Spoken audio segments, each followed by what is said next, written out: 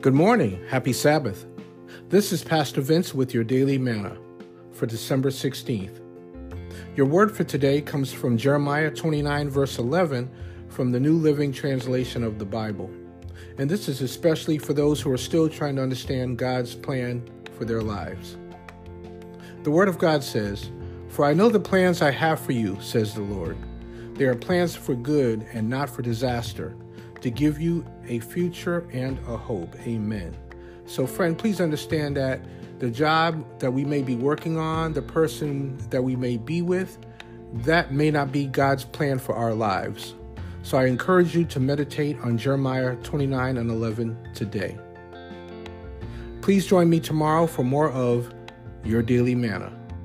Have a blessed Sabbath day.